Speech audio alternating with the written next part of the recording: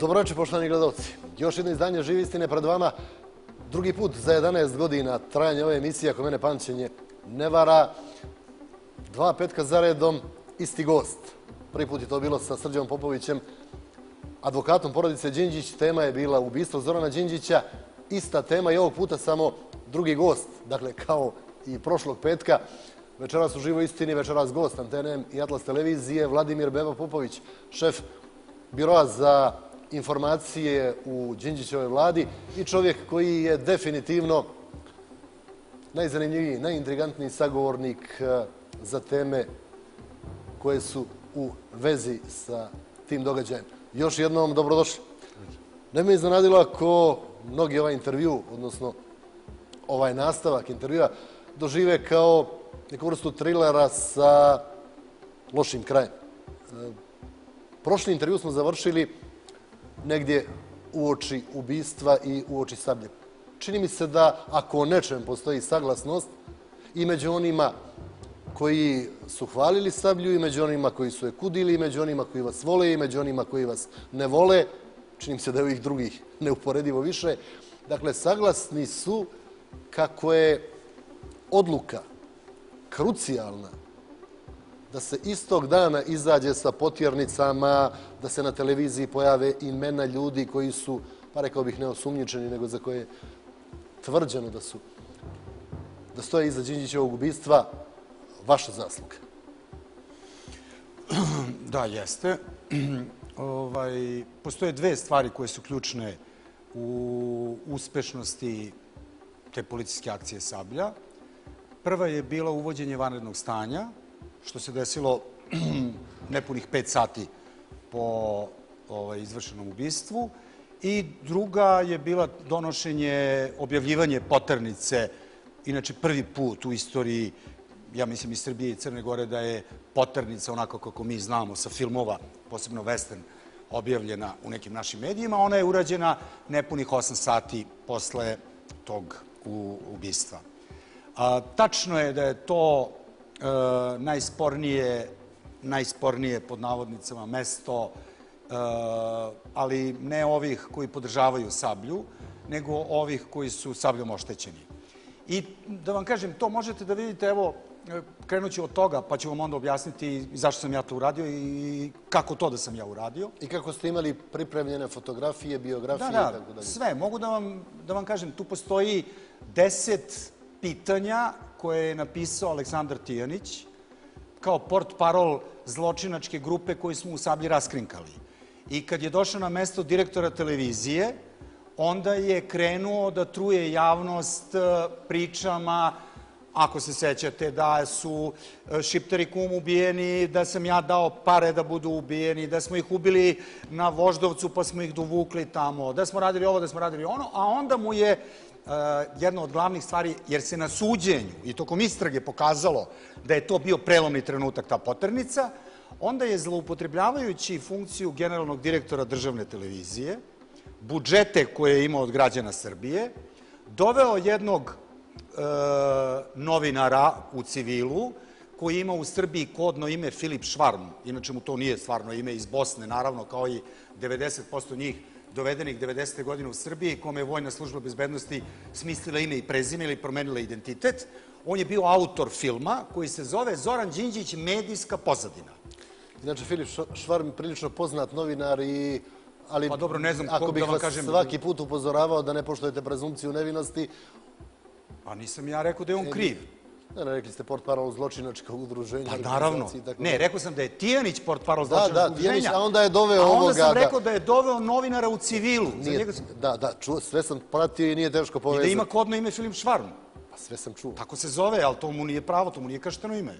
Znam, ali kad kažete kodno ime i da mu nije kršteno ime, može čovjek da ima pseudonim. A jel vi znate A zašto je promenio ime kad je došao iz Bosne u Beograd i dobio drugo ime? I to ime Filip Švarm.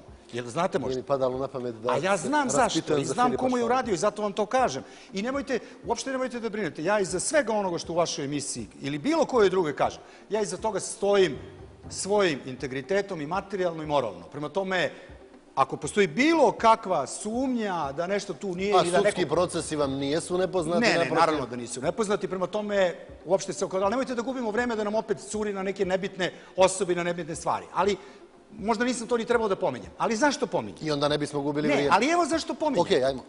Zato što su njih dvojica i nekoliko novinara koje je Tijanić doveo na RTS, poput Antonele Rihe i sličnih, koji su bili novinari na B92, kao prijemni, da bi bili primljeni na RTS, učestvovali u filmu koji se zove Zoran Đinđić medijska pozadina. Pošto sam ja jedan od onih ljudi koji godinama govori da ubistvu, ali nisam jedini, naravno, govore ljudi iz struke, da u ubistvu Zorana Đinđića mora da se istraži i medijska pozadina. To sam rekao tokom akcije Sablja, pa je izazvalo konsternaciju u srpskoj javnosti. Jer se, a zašto sam ja to govorio? Ne zato što ja imam nešto protiv novinara. Ili što ne daj Bože, mislim, ja sa tim svetom nikakvih dodirnih tačaka nemam. A bili ste na čelu biroa za informisanje Tačno. i mnogi tvrde da su novinari drhtali pred vama. Pa ne, evo kaže, objasnio sam vam malo pre zašto sam na tom mestu bio. Slučajno. De, a, da, da ne trošimo na to. Ja nisam novinar koji je bio negde u nekom listu, pa sam frustriran, pa sam jednog trenutka došao do vlasti, pa sam hteo da se svetim novinarima. Ma ne, tako sam mogao da budem, kao što sam bio u birovu za komunikacije. Zašto je to bilo? Jer ima veze s medijima. Ja sam se bavio medijskim kampanjama. Pa eto, to je bilo tu mesec, dva. Onda kad sam ušao u taj biro, ja sam, to je prvi put u mom životu da sam ja ušao u taj svet. I da sam ja Koji očigledno ne cijenite, to je jasno i Ma ne da ne cenim, nego to je polusvet. To nije svet, to je polusvet. To su verovatno najgori pripadnici koji postoje u strukturama jednog društva. Ja ne znam, ne kažem da tu nema časnih ljudi. Ja ne kažem da tu nema vrhunskih profesionalaca i pismenih ljudi. dobro ste to izgovorili. Ne, ali to je 5%. Ma nije ni 5. Danas je verovatno 1. Kad smo mi dolazili u vladu, to je bilo 5%. Ovo, to nema nikakve veze. To su, to su ljudi koji su maskirani kao novinari, to su pripadnici državne bezbednosti, to su nepismeni, to su bivše prodavačice u buticima, to, to su ljudi koji nemaju elementarno znanje o nečemu što se zove jezik. U interpunkciju ne znaju, a ne nešto drugo. I koji služe kao sredstvo. I ja sam bio šokiran kad se to dešavalo. Znači, stvarno sam bio šokiran. I onda sam e, iz, iz, na taj način došao, da tako kažem, u, te- u, u, u, u taj svet, u te sukobe. I došli smo do emisije Pozadina. Tačno. Medijska. I onda sam sve vreme govorio, ej, kogod hoće da istražuje medijsku, odnosno ubistvo Zorana Đinđića, ne može, a da ne uzme novine i da vidi da u poslednjih tri meseca pred njegovo ubistvo tačno određena grupa novinara, tačno određeni mediji, tačno određeni vlasnici medija i urednici, za koje će se ispostaviti kasnije da su imali veze kao što je slučaj sa identitetom ili sa nacionalom, Gradišom Katićem i tako dalje i tako dalje, da njih niko ne zove i da kaže dođi ti momče ovamo. Što si ti pisao o Zoranovom obezbeđenju i o tome koji su propusti Zoranovog obezbeđenja, kako je na njega narađen? Kao, slučajno si to pisao u vreme dok su Zemunski klan pripremao njegov atentat kad se vraćao iz Koponika. Međutim, kako sam ja o tome pričao, pošto je to naravno udaralo na Tijenića i na tu bandu novinara oko njega, onda su oni, da jednom za svagda stave tačku na priču o medijskoj pozadini, napravili emisiju koja traje sat i, sat i po vremena, gde i koja se od 2006. godine, ja mislim da je, ne, 2007. Ja mislim da je te godine premijerno prikazana, svake godine na 12. mart pušta više puta u 8, u 10, repriza noću, na drugom programu, sutra ujutru. Znači, ja mislim da je to najreprizanija emisija RTS-a, koji je inače poznat po tome da samo reprize se tamo gledaju. A u toj emisiji, ako niste gledali, a A gledao sam. a gledali ste, onda ću za gledalce da kažem, u toj emisiji je dovedena grupa nekih e, polunovinara, tih, kažem vam, kao ovaj što imaju kodne imena, ili ovi koji su prelazili kod Tijanića na posao pa su morali da pričaju, ili ovih koji su iz gluposti svoje pričali to što su pričali. Samo jedna tema postoji. Kako sam ja u pola osam uveče iz tašne izvadio slike ubica, dao medijima da to objave, Zaključak je iz toga, pa naravno, kako je znao? Pa on je deo te zločinačke grupe. A stvarno, on je s njima pripremao atentat, a onda kad sam video i uplašio sam se, onda sam ja njih prodao. E, to vam je... Saglasit ću se da je glupo, ali nije glupo pitanje, bar mi se čini, odnosno siguran Ali da sam, vam- a kako ste stvarno? Znači, da vam kažem, postojalo je suđenje u Beogradu. Znači, ajde vama i gledalcima koji to ne znaju. Ali vam govorim o tome do koje mere je ta emisija besmislena, a onda je ovaj direktor televizije, kad je tu emisiju emitovao, on uveče kod kuće dok je to gledao šokirao se kad je saznao šta je iz te emisije saznao, pa je onda sutra ujutru otišao u specijalno tužilaštvo i podneo krivičnu prijavu protiv mene. Imam knjigu svjedočenje vaše osmosatno, ja znam, ali... Zbog nečinjenja. Zbog nečinjenja dela koje sam, ili činjenja dela što nisam prijavio ubice taj dan popodne jer bi Zoran I to je glavna teorija. Ako sam znao u pola osam ko je Zorana ubio, što ga nisam spasao? Dakle, naravno da smo mi znali, rekao sam vam to i u prethodnoj emisiji, pre nedelju dana, ovaj, hiljadu puta sam to rekao, naravno da smo poslednjih dva meseca znali da postoji grupa ljudi koji se sprema da ubije Zorana Đinđića. Znao je Zoran Đinđić, jer treba da vas sve podsjetim da je 15 dana pre ubistva rekao varaju se oni koji misle da će mene ukloniti. Šta je to time teo da kaže? I kome je poslao poruku? Kome je poslao poruku kad je 15 dana pre, 20 dana pre ubistva rekao sad smo u onoj fazi da imamo prvi put insajdera, svedoka saradnika, i na to nam ukazuje da smo na dobrom putu nervoza koja vlada u redovima ovih protivnika. Govori su o ti? čumetu. O Čumetu kao zaštićenom svedoku, Da. ali govori o nervozi koja vlada kod Legije, Razumijem, Dušana Spasojevića i ekipe. Dakle, poslednjih tri meseca pred Zoranovo ubistvo oni su sakriveni. Znači, o tome možemo da razgovaramo, ali ne sa mnom. Stručno, kako je moguće da pored toliko hiljada policije i tajne službe i toga svega su uspeli da se sakriju? Naravno, ja i na to znam odgovor, ali ja govorim o ovom delu sada zašta ja treba da snosim odgovor, što sam ja uradio. Dakle, mi znamo, znamo posle Bagzija, i za pokušaj kod uh, ulaska u Beograd, kad su povratka s Koponika, znamo i za neke druge pokušaje, jer se preko baznih stanica otkriva da ovi ljudi njega prate i pokušavaju da ga ubiju već meseci po dana. Dakle, to više ni za koga nije tajna. Mi počinjemo njih da obrađujemo, Čume nam umeđu vremenu o njima govori ko su, šta su, mi taj krug širimo.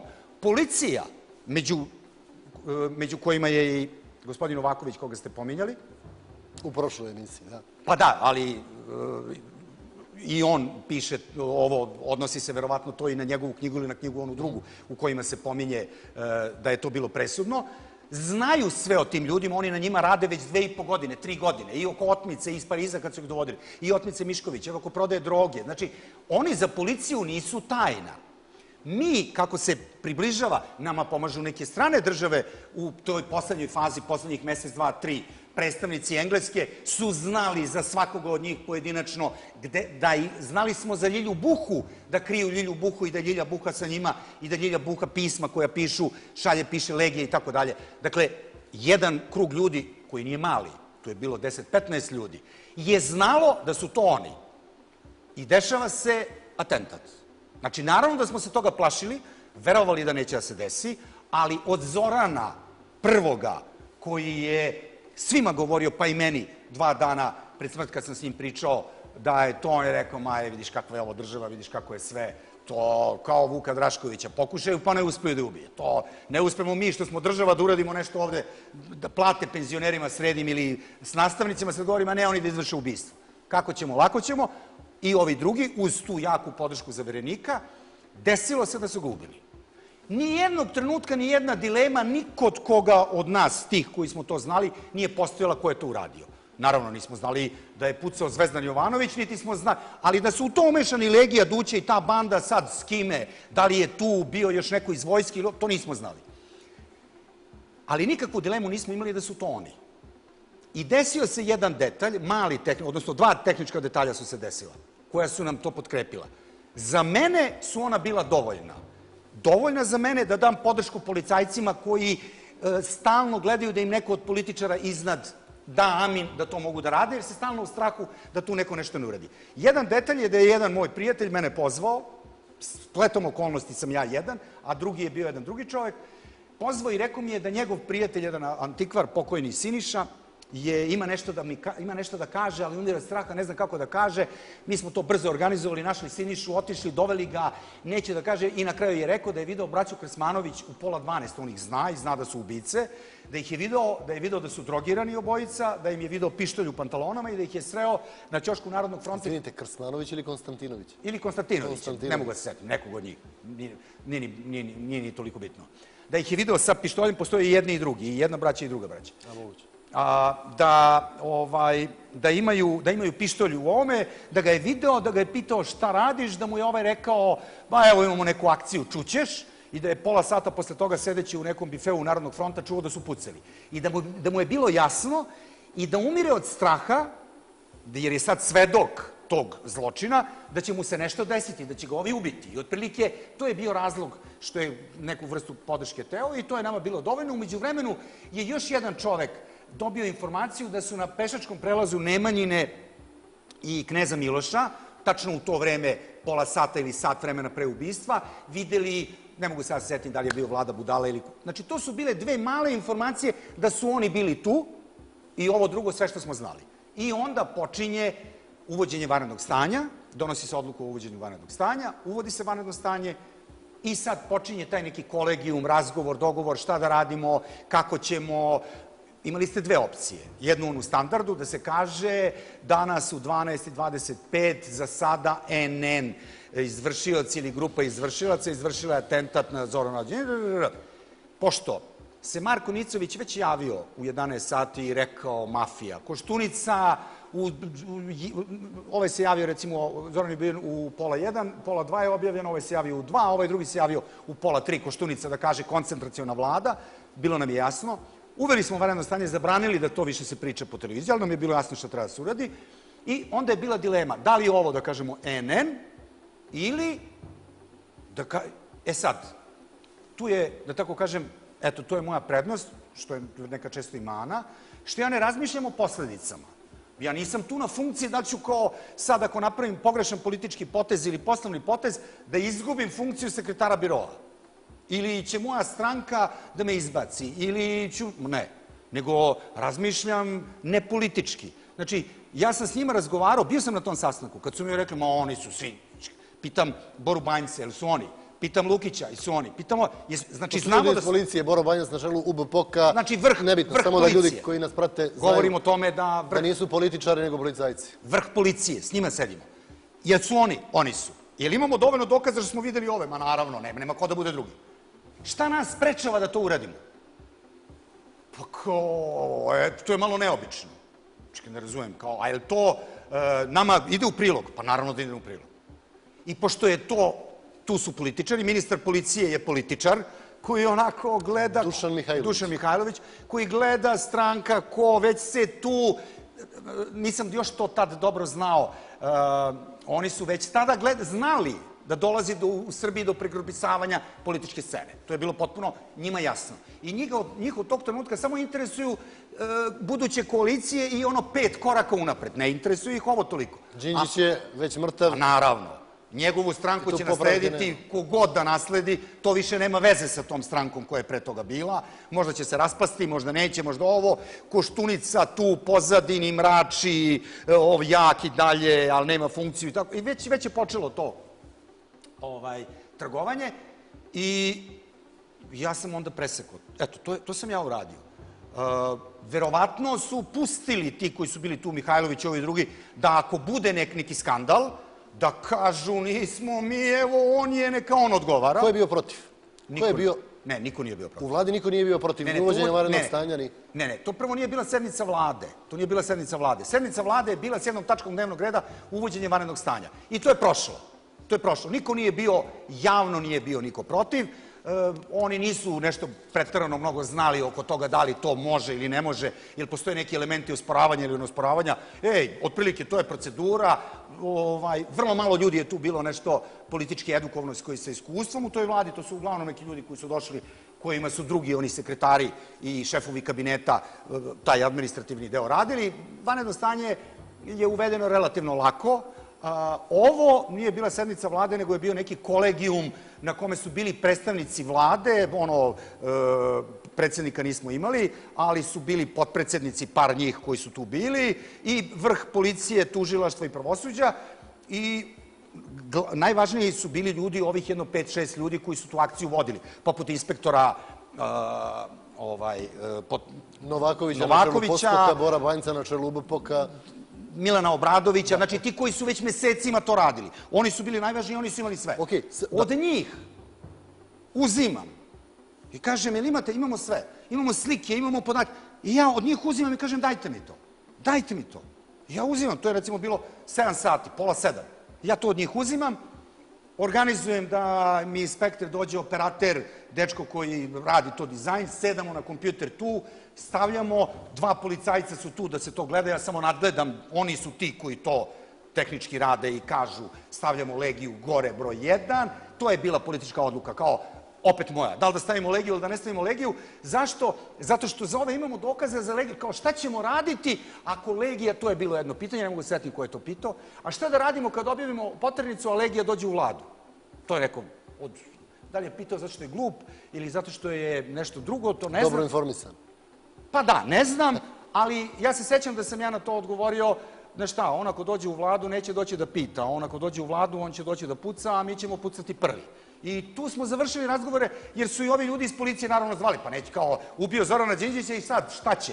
Kad objavimo poternicu da dođe? Ne. Da nismo objavili poternicu, da nismo uveli vanredno stanje, da smo rekli NN, I da smo pustili Koštunicu, da Koštunica priča, vojska, ne znam, koalicijona vlada i tako dalje i tako dalje, dva, tri dana, da mediji krenu da truju, koji su već bili pripremljeni sa gotovim tekstovima i slikama. Da to bude predstavljeno kao unutrašnji obračun mafije. Pa naravno, kao obračun, pa to kao, kao nešto što do dana današnjeg imate da, da o tome se priča. Pa imate naslovnu stranu novina bivšeg urednika iz tog istog nacionala, koji sad ima neku novinu u Srbiji novu, koja se zove Informer, koji je na dan Zoranovog ubistva objavio naslovnu stranu gde je stavio Nikolu Vrzića, kolegu jednog vašeg, pošto volite da ljude oslavljavam pravim imenom, da on inače piše u pečetu nekad je radio u Ninu, i Milana Veruovića, telohranitelja Zorana Đinđića, sa naslovom Postao je treći metak, ovo nema veze, ništa ovo nije tačno, kad tad će morati. Zato što su to ljudi,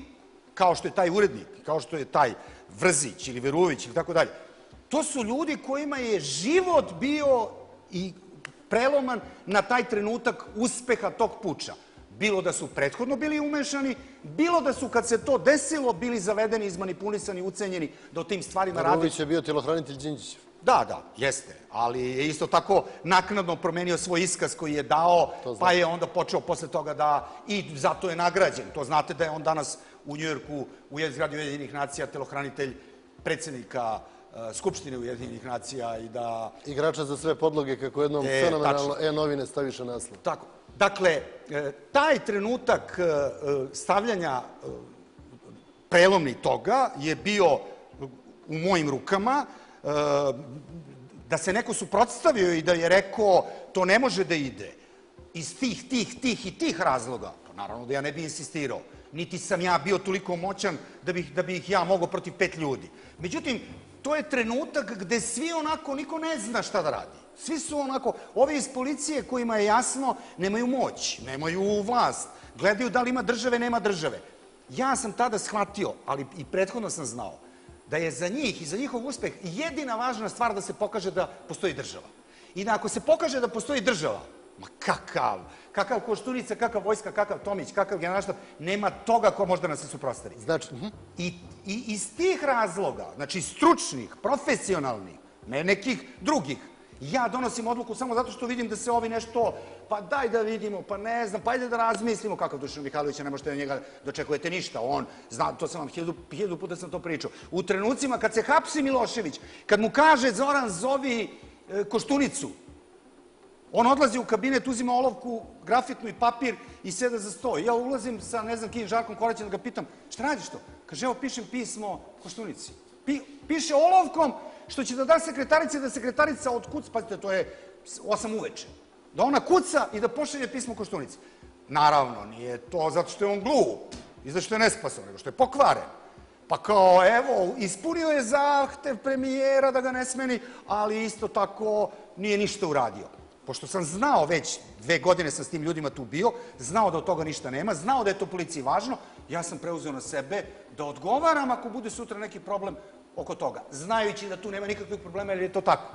I onda se, kroz istragu, kroz uh, svedočenje ljudi koji su pohapšeni, pokazalo da je to, kad su uveče, jer oni su se svi po stanovima spremili, čekali, stavili zalihe hrane, kupili novine, upalili televizore, drogirali se, aplaudirali i čekali da vide i onda se pojavljaju njihove slike. Da krenu u akciju preuzimanja vlasti. Pa naravno. Ne oni da preuzimaju vlast. Da pomognu da njihovi preuzmu vlast, a oni da budu u tom novom... Eto, to je istinita. I iz razloga što je to toliko ključno, što se pokazalo, naravno, ja to nisam znao u tom trenutku da će biti ključno, ali nisam imao dilemu da to mora da se uradi. Što je to praktično uništilo Sablju i raskrinkalo i Legiju, a onda kad je krenulo da para Legiju, došlo do Koštunice i do Tijanića i do svih njih, Zato iz tog razloga oni to ne mogu da oproste i zato iz tog razloga pokušavaju hiljade teorija i priča od toga da naprave i da mene diskredituju jer sam ja stajao iza toga. Ok, dakle, taj dio istorija. I rekao sam da o početnom dijelu Sablje postoji praktična saglasnost. A, šta je vaše objašnjenje? Kako je u jednom trenutku akcija koja je tako počela i koja je odjednom dala takve rezultate, u jednom momentu koji se obično vezuje za pronalazak Leša Ivana Stambulića, prekinuta, kako je zaustavljeno to što ste vi opisali kao paranje koje je dovelo do Vojislava Koštunice i to ne samo zaustavljeno, nego prestalo na način da Koštunici da priliku da promijeni tezu, da u prvi plan dođe priča o zloupotrebi sablje i tako dalje i tako dalje. I da se, dakle, sve to završi, a da se posao ne završi. Da vam kažem, dakle, e, tu ima dve, tri stvari. Jedna stvar je... Čini mi zašto se da je lakše ovako da vam omogućim da zaokružite Da, da, odgovor. ali ajde da kažemo ovako, ima nekoliko stvari koje su se poklopile. Jedna je ovo što sam malo pre rekao, politički interesi pojedinaca u vrhu te vlasti, vlade Srbije koja se sastojala od 15 nekih lidera, liderčića i njihovih stranaka i njihovi pojedinačni partijski interesi. I onda gledanje nekih objektivnih okolnosti, zbog toga se desio jedan deo.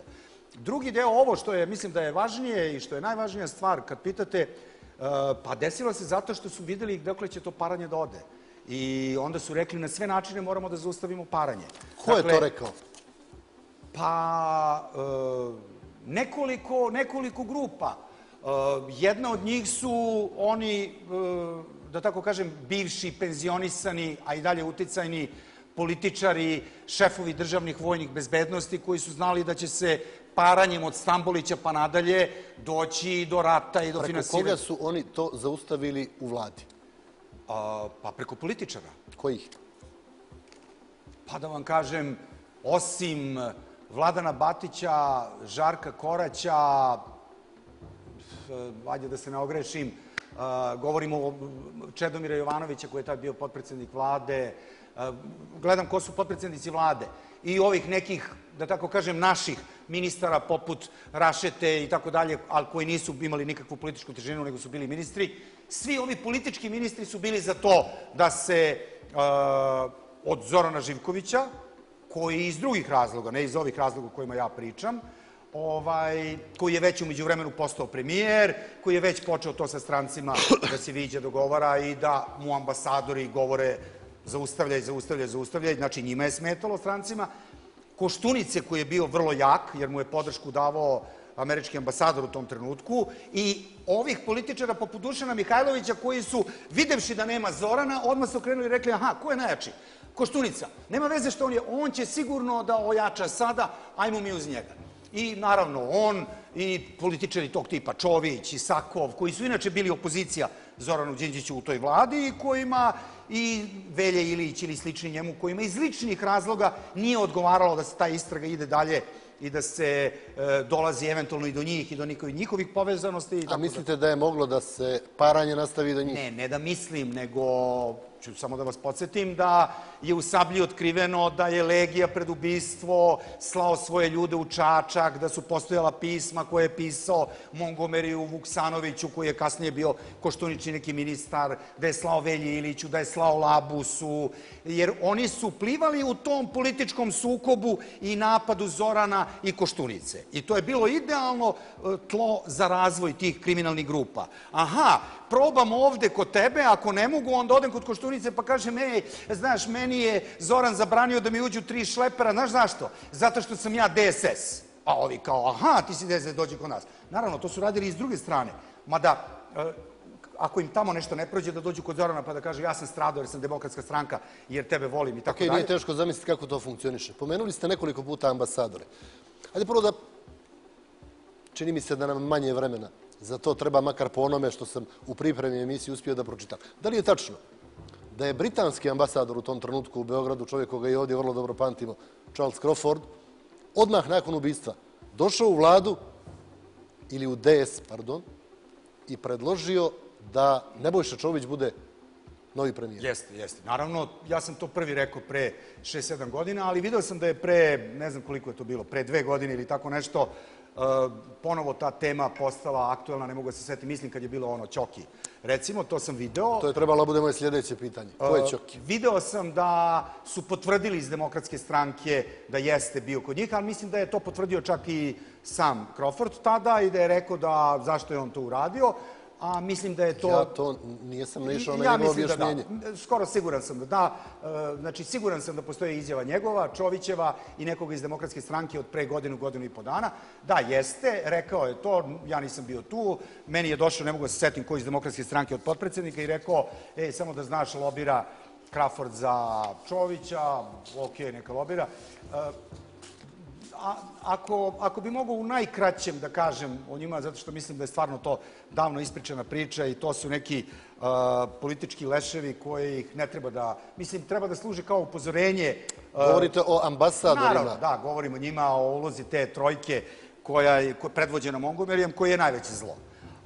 I ova dvojica, francuski i engleski, koji su zajedno s njim svako na svoj način... Keller je bio francuski. Da, svako na svoj način i iz svojih razloga učestvovao u toj, da tako kažem, podršci snagama nazadnim koje su rušile Zorana Đinđića. E, ja mogu da kažem samo sledeće. E, siguran sam da je to 99% glavni razlog. U Srbiji su posle 5. oktobra, kad je završen Milošević i kad je to završeno s Miloševićem, e, velike države izgubile apsolutno bilo kakav interes za tu zemlju kao bilo kakvu stratešku političku e, e, u njihovim politikama. Da su onda slali ljude koji su ili već bili na Balkanu pa imali neka iskustva pa ga šalješ iz Bosne, Bugarske ili Hrvatske u neku od tih zemalja ili su bili neki koji su bili na zalasku svojih karijera. To su u 99% slučajeva izuzev e, Montgomerya koji je već postao moćna figura na Balkanu zahvaljujući tome što je prethodno bio ambasador tu. To su uglavnom ljudi... U Hrvatskoj. Da, to su uglavnom ljudi koji su birokrate, činovnici, sa nekom pristojnom platom, ali frustriranih životnih biografija. Jer, kako da vam kažem, to jeste neki, s jedne strane, lagodan posao, zanimljiv posao, ali šta vi kao ambasador, bez obzira što ste ambasadori velike zemlje, u nekoj bilo koje zemlji na svetu, sem ako to nije neka rupa ili neko ratište, predstavljate? Ništa, jedan dosadan život. Dolaskom u zemlje kakva su naša ili kakve su afričke, oni e, počinju da dobijaju moć i vlast koje nisu ni bili svesni. Oni počinju da budu e, medijske ličnosti, oni su deo jet seta, oni su, deo, oni su politič, oni su e, ljudi najvažniji na primu, oni ulaze u zgrade vlade, oni se viđaju s premijerima, oni donose odluke, oni počinju da ulaze u privatne poslove. Njima se u 60. godinama ili 70. života otvara jedno polje potpuno novo do tada koje oni nisu imali. Šta je njihov interes da zakoče istragu prije nego što se otvori do kraja? Ne, kako, ko, kako kod koga? Kako kod koga? Znači, Montgomery i Crawford su bili korumpirani. Znači, jedan i drugi su imali svoje lične poslovne interese. Crawford sa nekim engleskim kompanijama, čije je interese zastupao u Srbiji. On je to u krugovima objašnjavao da je to po nalogu Foreign Office-a. Ja sam to proveravao, to nikakve veze sa politikom foreign office nije imalo. To su njegovi poluprivatni dilovi sa firmama poput BAT ili one čuvene agencije FIA, ako se sećate što je postojala, što se bavila kao nekom istragom, i predstavljeni u Srbiji i Crnoj Gori kao najveći sveci poštenja, eno ih svi danas ili pobijeni, ili po zatvorima, ili na poternicama. Dakle, to su neki privatni njegovi dilovi od kojih on dobija ne znam šta. Šta je interes, izvinite, mislim dovoljno sad imam sliku, šta je interes Mauricija Masarija da u razgovoru s vama stavi do znanja da istraga treba da se zaustavi? Da vam kažem, ne znam, uh, ja mislim da uh, on uh, kao jedan pravi ono školovani birokrata i taj funkcioner činovnik funkcioniše ono plus minus plus minus. On je tu tokom Sablje razgovarao sa deset ljudi i pitao Sablja to gde šta, ovi su mu rekli beba, beba, beba, beba, on je bez obzira što se mi nismo mirisali prethodno, nismo imali nikakav sukob, ali smo bili na suprotnim stranama, jer je on podržavao Verana Matića, te TZV medije, TZV alternativu, NVO organizacije, ovaj, inače, rekli ste kako sam ih ja zvao, ovaj, jednom vrstom mafije, ovaj, I onda je kao, eto, šta će, on mora, razgovaraju oni sa Sadamom Huseinom, iz Bin Ladenom, što ne bi razgovarao sa mnom. I ja mislim da je on, ja to mislim danas, da je on na taj razgovor došao da ispuni svoju obavezu koju ima kao neki činovnik, da je s nekim čovekom koji može da mu kaže šta će biti. Jer verovatno sve ove druge koje je pitao, oni su mu rekli ne znamo, pa ko bi mogao da zna, pa kao ne znam, možda eto pitaj bebu i to je tako ostalo. Mi smo imali taj razgovor, ja sam i u tom razgovoru pokazao da sam netipičan uh, sagovornik iz vlasti i politike, jer on nije bio ni malo diplomatski, ni malo uvijen, ni malo, čak ni sa toliko respekta koji je nužno da se bude, jer uh, mene je prvo nerviralo što mi oduzima dragoceno vreme sad u nekom glupom razgovoru, umesto da sam tamo sa ljudima iz policije da tražimo. I dalje je atmosfera, da, kad će oni da se pojavi i da li će se pojaviti. Ja ne znam ni jednog trenutka kad krenem kući da li će negde iza nekog ćoška s nekim zoljama neko od njih da puca na mene ili na nekog na nastoje. Dakle, takva atmosfera. Ta atmosfera traje najmanje mesec i po dana, mesec dana. Tek posle mesec dana, kad smo većinu njih pohapsili, smo znali da ovi, i kad su naravno ovi ubijeni, ova dvojica, znali da od toga više nema ništa, da je Legija izgubljen i da ga negde vojska krije ili već mafijaši iz Hrvatske i Hercegovine. Dakle, e, nerviralo me što mi oduzima vreme. Drugo, imali smo jedan prema drugom animozitet iz tog ranijeg perioda i ja to nisam skrivo. I kad me je pitao, ja sam mu lepo odgovorio, onda je on nešto tu počeo onako uvijeno da mi priča kao eto to ne bi, ja sam mu rekao to već znate. A šta bi vi u vašoj državi kad bi se to desilo? Jel bi on bio uhapšen? Jer oni mene pitali, ako se dođe do Koštunice, da će biti uhapšen? Kaže, mislim, stvarno ne znam kako je to pitanje. To je kao pitanje, ako pada kiša na polju, hoćete da otvorite kišobran? Ne, neću, nego ću da kisnem. Ako ga imate. Pa da, kao ne, nego, ne, što bi otvorio? Tebe ćemo da pitam. Kažem, tako sam mu to odgovorio. Kasnije je to predstavljeno da sam ja tu nešto rekao i od toga je stvorena priča da sam ja tražio da se Koštunica uhapsi. Ne, brate. A on je došao zato što smo mi tri dana pre toga, ili ja, dva dana pre toga na konferenciji za novinare, rekao da smo uhapsili Radeta Bulatovića i Jacu Tomića, da smo ih uhapsili zato što su se sa ubicama, ubicama, 15 dana, 20 dana, mesec dana, dva meseca, dakle u vreme dok oni pripremaju Zoranovo ubistvo, njih dvojica nalazili. I to je kao bilo čudno što smo mi njih uhapsili, to je političko hapšenje, da dolazi do njega, da dolazi još neku, da vas ne davim sad, desetina nekih sponzora DSS-a koji su imali veze sa njima, koji su se tu pojavili, znači policijski, istražiteljski, potpuno jasno da su oni to radili pozivajući se na DSS, Koštunicu, kabinet, vojsku, vladu, Ruse i tako dalje. I sad počinje ta atmosfera, Koštunica naravno umire od straha, kao i svaki put kad ga neko prozove, krenu da ga brane ovi o kojima smo malo prepominjali, TZV, akademici i to, ne, ne, ne, nije. Ovaj dolazi kod mene i kaže šta ako ja kažem, pa bit će uhapšen. On kao klima glavom, ja kažem, pa čekaj, da u vašoj zemlji, kad bi istraga došla, a pa kaže, da, ali mi smo zemlje visoke razvijene demokratije, ovde je to turbulentno i tako. Eto, dakle, ne mislim da je on došao da bi branio Koštunicu. On je, verovatno, kao birokrata imao zadatak, nekomu je rekao tamo ili od tih ambasadora u Beogradu čuo, vidi šta ovi tamo rade, to je problematično dosta, nemoj tu mnogo da se nešto talasa i tako dalje i tako dalje. Dakle, Znate šta mi, šta mi nije jasno i da, da nakon toga idemo na drugi blok reklama. Dakle, Koštunica je sam vjerovatno morao biti svjestan da postoji neka vrsta zaštite koju dobija sa zapada od hapšenja. Ako je zaista negdje umiješan u tu priču, političke pozadine ubistva da- Đinđića, A da vas pitam, evo stvarno, ako, mislim možda je to malo neobično, ali voleo bih, to mene interesuje.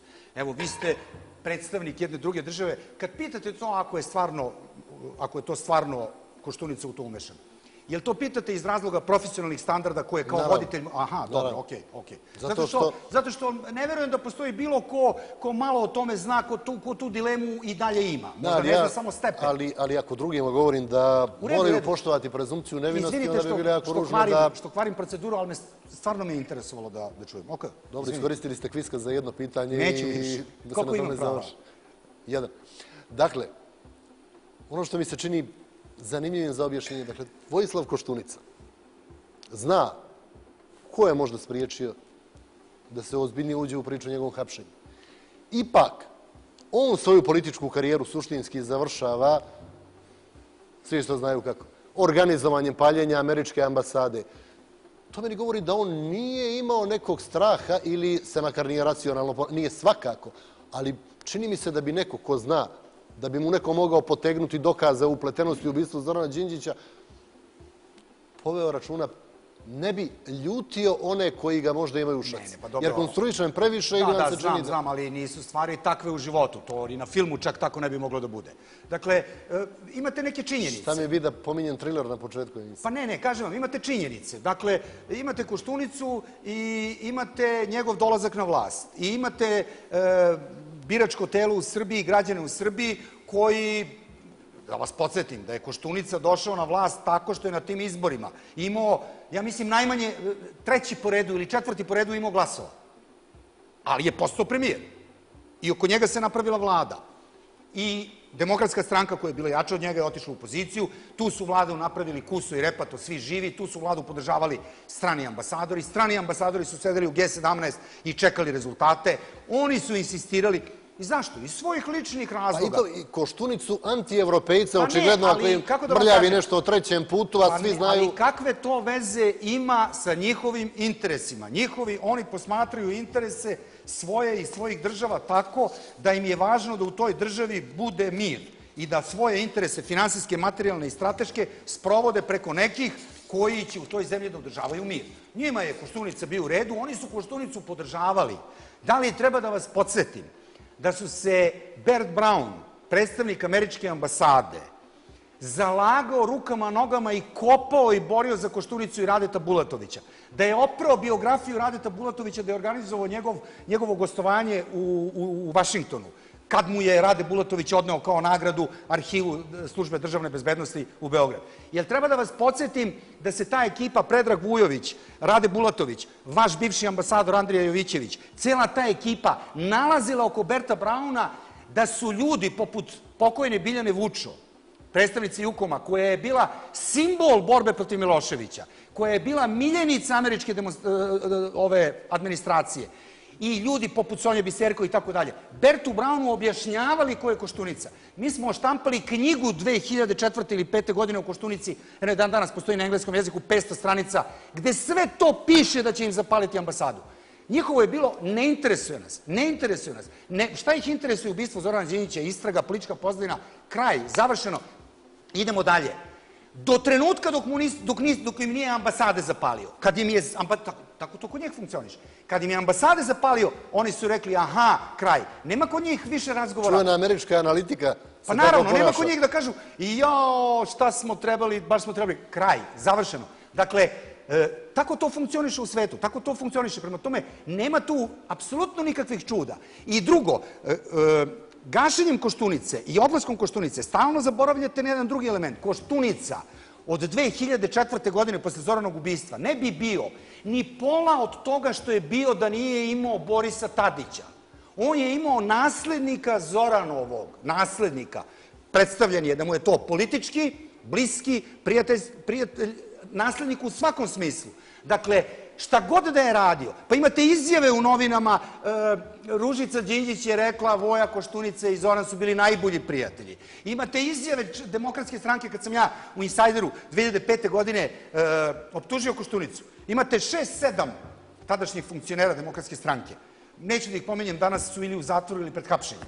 Ovaj, jer su zato došli na vlast. To kažem zato što je njih interesovalo da se sa Koštunicom pacifikuje, pusti Koštunicu čoveče, sad treba da se užima, sad treba da se krade, sad treba da se kupuju brodovi, jahte, sad se ova budala našla da nas svađa sa Koštunicom i da vodimo rat s Koštunicom. Nismo jaki, nećemo u rat, pusti nas tome. Dakle, sve što je Vojislav Koštunica radio, sve, uključujući i taj dan kad su paljene ambasade, taj miting za paljanje ambasada su naručili on i Boris Tadić. Njih dvojica su ga zakazala. Njih dvojica su prethodno u mimohodu nosili sveće po Beogradu kad je bilo, ne znam, paljenje neko na Kosovu. Njih dvojica su sa patrijarkom išli i brinuli na teškom sudbinom Kosova. Znači, to što se zvalo kohabitacija, to što je bilo jedno umlje političko, je omogućilo da on bude takav kakav jeste. A onda, u jednom trenutku, kad, kad, kad su videli da je ovaj kao, ej, rekli nam Amerikanci da ne palimo ambasade, jer je Boris Tardis takav. On ide, ide, ide, ide, rezolucija, rezolucija Ujedinjenih nacija, onda ga zovu uveče i kažu mu, ej, slušaj, kakva rezolucija? I on, da ne zna ministar spoljnih poslova, da ne zna niko, brzo piše u drugu revoluciju, šalje u drugu, nema rezolucije, nema. E, to, to se desilo i tada, tog, kad je to bio, koji je to bio, 17. Imam, marta. imam, imam zanimljivih nekoliko pitanja u vezi sa Borisom Tadićem, ali nakon reklama. Ponovo smo tu, podsjetit ću, Vladimir Beva Popović, gost Atlas televizije i Antene. Dakle, vrlo emotivno o Borisu Tadiću ste završili prethodni dio intervjua. Ajde onda da nastavimo, rekao sam, imam nekoliko pitanja koja mi se čine jako važnim, a tiču se doskorašnjeg predsjednika i Srbije i demokratske stranke. Nema potrebe da vas pitam, iako sam bio planirao, čini mi se da ste na to pitanje već odgovorili, kakve su bile lične relacije Tadić-Đinđić. Mene interesuje da uporedite odnos njih dvojice prema Crnoj Gori, odnos njihovih politika prema Crnoj Gori. Pa ne, naravno, da vam kažem, ovaj, uh, dakle, i jedan i drugi su političari, ajde da kažem ono samo prvo što, da, nešto da li imaju zajedničko, a vrlo toga malo imaju. Dakle, jedan i drugi su političari i kad su ljudi političari, nikad niste sigurni do koje mere e, prijateljstvo, poznanstvo, bliskost ili bilo šta funkcioniše. Koliko su iskreni čak i s vama u Đinđićevom slučaju? Pa naravno. A, vi znate da kad je odnos e, Crne Gore prema demokratskoj stranci i političarima, srbijanskim političarima, je vrlo specifičan. Naročito u fazi kada su zajedno jedni i drugi bili protiv Miloševića. Ta faza nije mala i dugo je trajala i bila je jako opasna i po fizički jedne i druge, tako da je tu naravno nastalo to neko dodatno zbližavanje, ali isto tako imate e, Zorana koji posle 5. oktobra daje nekoliko nepromišljenih izjava koje su mogle ili jesu da razruše odnos između Crne Gore i Srbije, e, ismejavanja broja glasača, pošto je to bila ona zajednička država, pa Gornji dom ali sve u svemu on se može smatrati prijateljem Crne Gore i crnogorske, crnogorske politike, pa i delimično tog osamosteljenja i da je on bio na vlasti, sigurno da ništa od onoga što se ovde dešavalo ne bi desilo. Kad je Boris Tadić u pitanju, uzevši u obzir ono što sam rekao u prethodnoj emisiji, ono što sam rekao pre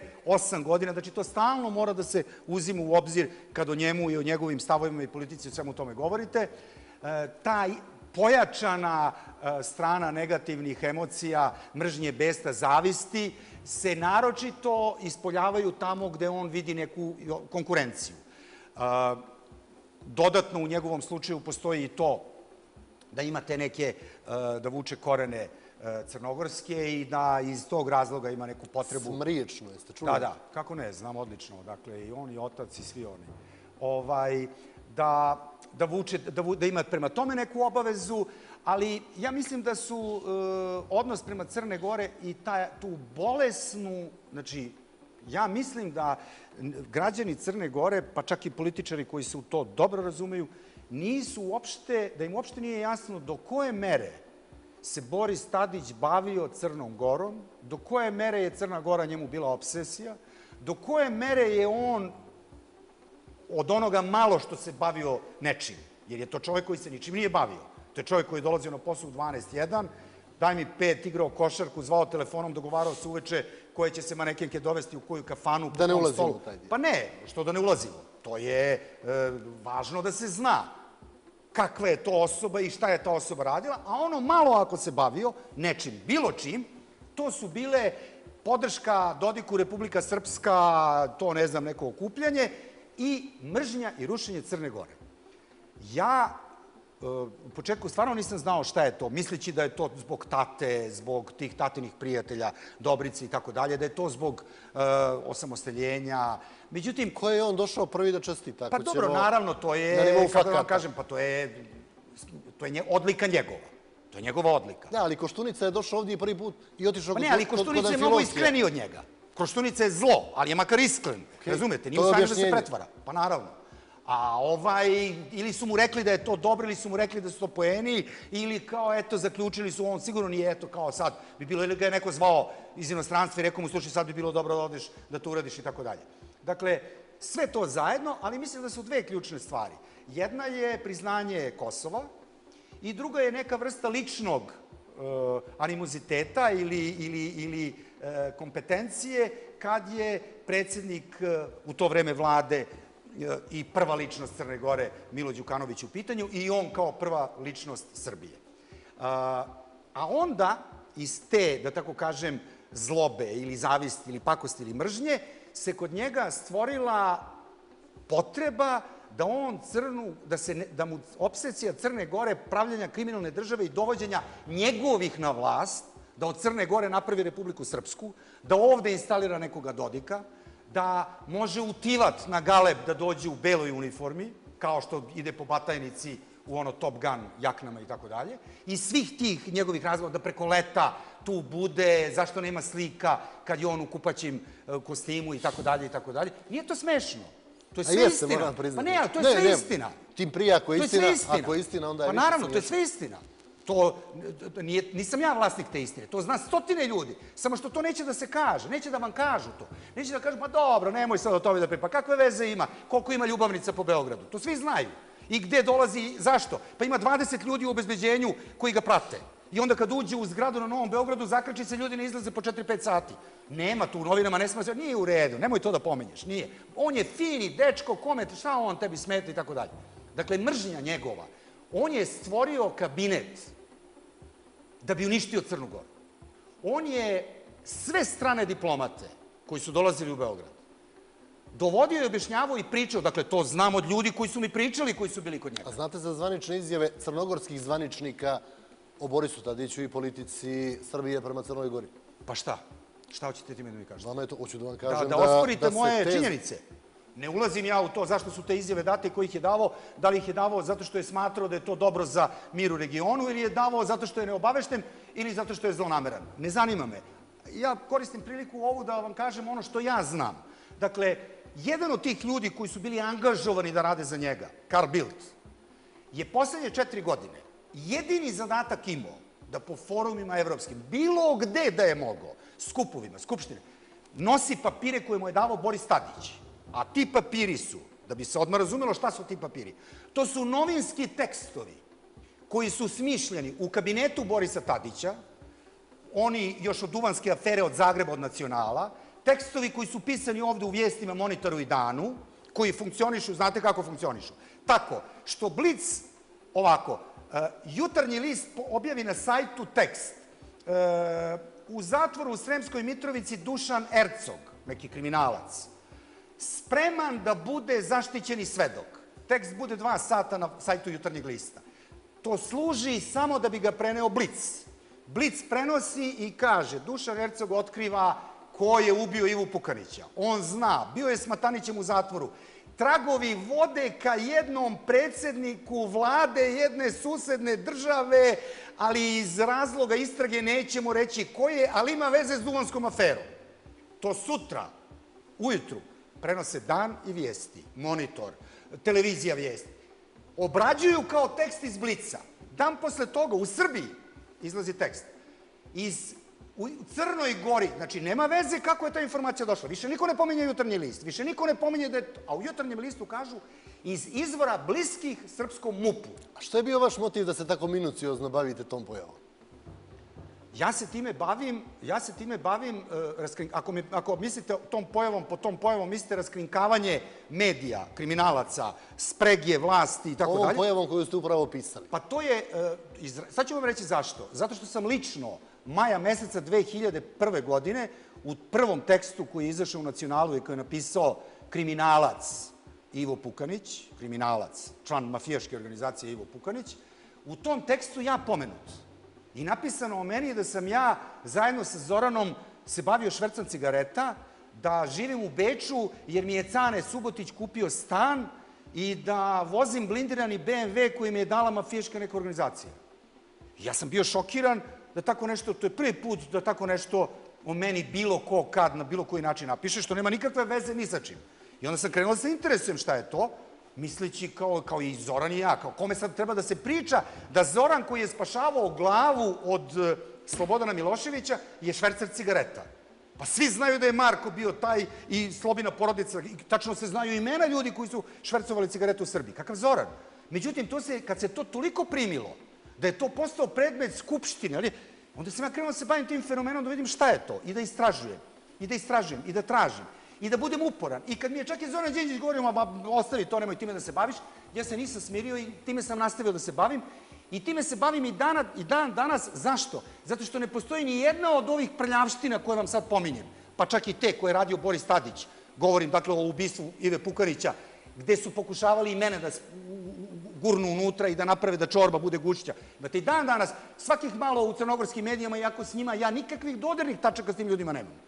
Sem što su mi svojevremeno dolazili neki od njih u Beogradu u agenciju i tražili neku pomoć, uslugu, budžete, klijente, ne mogu sad više tačno da se setim, ali su me posetili. Dakle, mislim na ove izvijesti iz monitora ili kako su se već tad zvali i tako dalje. Dakle, ja s njima dodirnih tačaka nemam, sem što imam kuću u Herceg Novom gde leti dolazim zadnjih par godina, 3-4 meseca. Ali malo, malo neki tekst o nekim prljavštinama, kad iskopaju nekog ludaka i nađu iz Makedonije nekoga, ili Ratka Knežević, ili tako nekog psihopatu, malo, malo, i onda moje ime unutra se pominje... I koliko to utiče na vaš komfort tokom ljetnih mjeseci odmora? Pa, da vam kažem, e, e, e, ja sam vrlo osvetoljubiv i vrlo pravdoljubiv. I ja sam ovo radio da bi video šta su motivi Šta je to što ti ljudi, zbog čega se ti ljudi bave sa mnom, a mi dodirnih tačaka nemamo? I ja sam onda otkrio šta je to.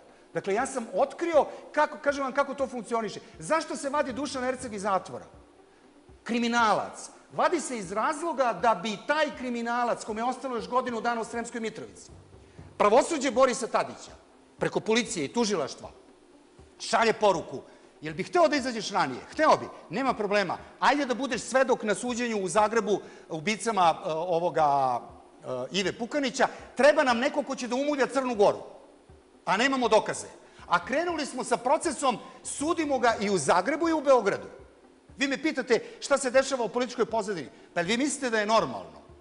Da ne interesuje politička pozadina nikoga u Srbiji ubistva predsednika demokratske stranke, a da njegov naslednik na čelu predsednika demokratske stranke, taj, Boris Tadić, nije zadovoljan što je u Zagrebu završeno suđenje ubicama Ivi Pukaniću. Tamo je završeno suđenje, to znate da je pravo Ali vi mislite da je, pored svega I ovoga on, što pričate... dozvolite da kažem, on vodi novi proces za ubistvo novinara u Zagrebu, u Srbiji, koji se zove politička pozadina ubistva Ive Pukanića u Beogradu. Jel vi mislite da je to normalno?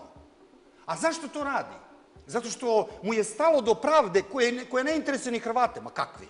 Zato što desperatno traži da nađe bilo šta kako bi mogao da diskredituje Crnu Goru, da optuži i da pomogne crnogorskoj opoziciji koju inače finansira, on, i medije opozicione koje on finansira ili je finansirao, sad će im biti malo teže, pošto e, ga više nema na vlasti. Samo izvinite, je li normalno, da se poslužim vašim rečnikom, da vi, koji znate sve ovo i imate, svi to znamo, odlične kopče sa vrhom crnogorske vlasti, više vodite računa o interesima Crne Gore nego ljudi kojima je građanstvo Crne Gore na izborima to dalo u obavezu. Dobro, ajde da vam kažem ne, ovako. Ne, vraćam znači, vas na ovo. Ne, uh, sa ljudima iz vrha Crnogorske države ja imam privatne odnose. I kao što sam vam Ste rekao... Ste pričali nekad ne, ne, o ovim ali rekao sam vam temama. i na početku. I sa Zoranom Đinđićem, dok sam se družio u tih deset godina, ja sam privatno s njim bio prijatelj.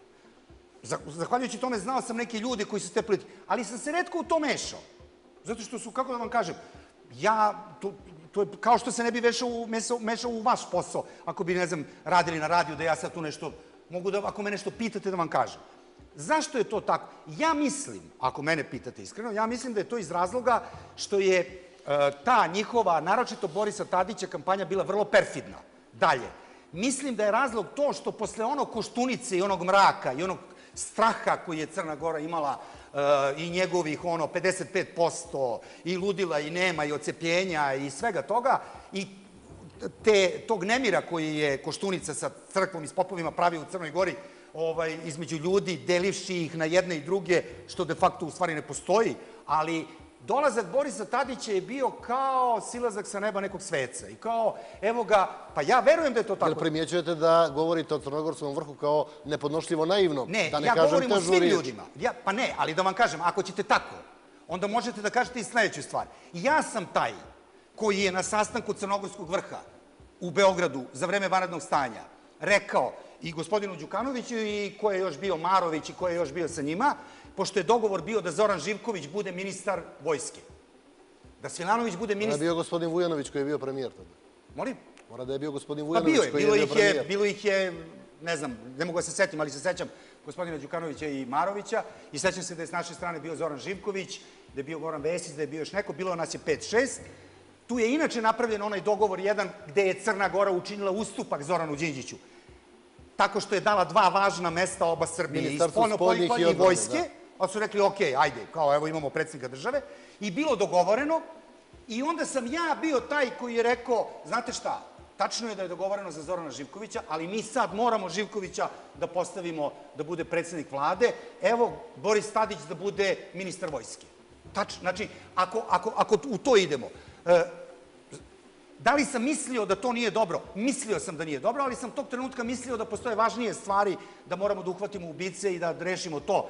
Stavili smo mu dva neka savetnika koja su, da tako kažem, bila naša iz demokratske stranke, koje je on brzo oduvao i krenuo to da radi što radi. Dakle, zašto su to radili? Ja vam kažem, mislim da, mislim da to, se, da to malo ljudi zna. Mislim da jednom delu verovatno je to, ja vidim evo ovde u ovom periodu u kome sam sad tu, nije toliko interesantno kao što je to nama u Srbiji. Zašto? Zato što kad deset godina od jutra do mraka treba da odgovarate svakih nedelju dana, svakih mesec dana ima u Crnoj Gori neka nova afera. Ne, ali od SČ sad- do transkripta. Ok, Pa ako nisu sad... ovi, ako su ovi. Ovo, je- ovo je sad faza političke analize. Onda ja vas pitam kao nekoga ko prati političku scenu. To o čemu vi govorite, dakle, ja sam tri, četiri puta postavio kao pitanje zbog ponašanja tadašnjeg ministra inostranih poslova Srbije, Vuka Jeremića. Crna Gora mu je dala podršku, ako mene pamćenje dobro služi, za mjesto generalnog sekretara Ujedinih nacija. Da vam kažem, rekao sam vam na početku, ja nisam političar. Mora da postoji objašnjenje zašto je to tako. To objašnjenje je verovatno tog trenutka to bilo politički korisno vrhu Crnogorske države. Što je to meni odvratno, kako da vam kažem, to je, ja to tumačim e, i sve stavljam u taj koš politike. I, kako da vam kažem, i s druge strane, ako me pitate kako ja to često doživljavam, ja to često doživljavam kao e, stalno sa crnogorske strane potrebu da se e, političarima iz Srbije stavi do znanja na blagonaklon način da ovde niko ništa protiv njih nema. Ni da to priznanje Kosova nije razlog toga što se, nego samo racionalniji smo od vas. Prihvatamo nešto što inače i vi prihvatate, pa ga ozvaničujemo, evo sad ćete ga i vi ozvaničiti. Tri, četiri godine kasnije, vi koji ste bili najglasniji, to ćete uraditi. Ali, vam kažem, e, e, mislite da iz e, crnogorskog vrha, rukovodstva, nisu videli i nisu znali da ponašanje e, ministarke Malović i tužioca Maljkovića u prethodne 3-4 godine nije guranje prsta u oko u Crnu Goru, da nije e, to što ćete Lauševića, čoveka koji je dvojicu ljudi ubio, jednog ranio, jednom pucao u leđa, da oslobodite, da poništite presudu te druge države, da ministarka pravde, koja se sad ovih dana isčuđava, kako u nekim novinama piše, komentarisanje presude, da mrtva ladna izađe na televiziju i da kaže e, on je dovoljno bio u zatvoru, to je dovoljno. Mi smo pravili analizu, on je bio pet godina, to je dovoljno. Da Homen, sekretar, kaže e, on, je odle, on bi odležao e, 10 godina, to je maksimum, a već je odležao pet. Mislite da to nije? Mislite da nije dolaženje Snežane Malović u Crnu Goru i traženje od Crne Gore da daju Duška Šarića kome se ovde sudi?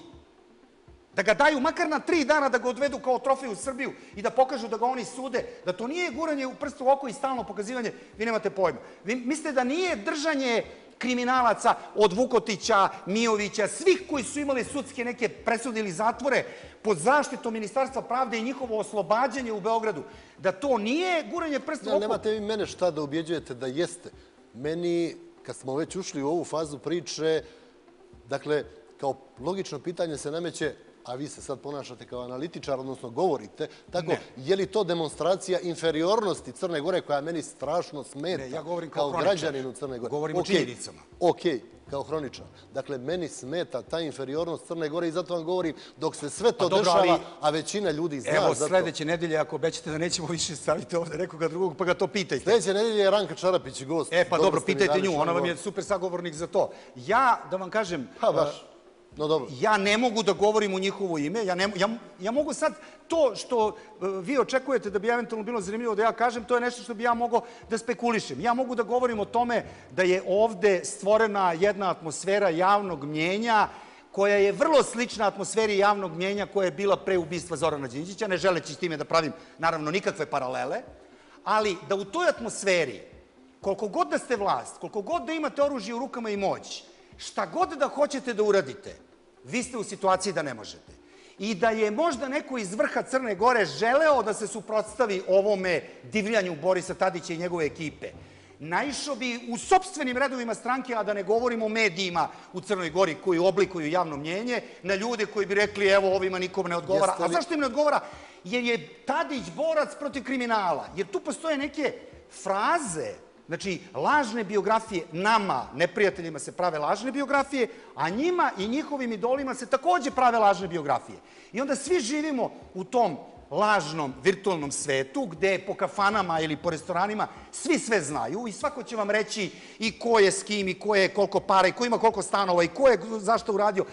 Ali javno ne. Javno postoje neki simboli kao što i ovde postoje neki simboli grupa nekih ljudi koji su jedan dan intelektualci, drugi dan vlasnici medija, treći dan biznismeni, četvrti dan analitičari, peti dan ovo. Svi se smeju, svi se tome sprdaju. Sve, ali javno ne. Oni su preuzeli primat, moć da određuju ko je kakav, nije kakav, da se li- bave svima. Jeste li se vi kao stručnjak za takvu atmosferu vratili u Crnu Goru?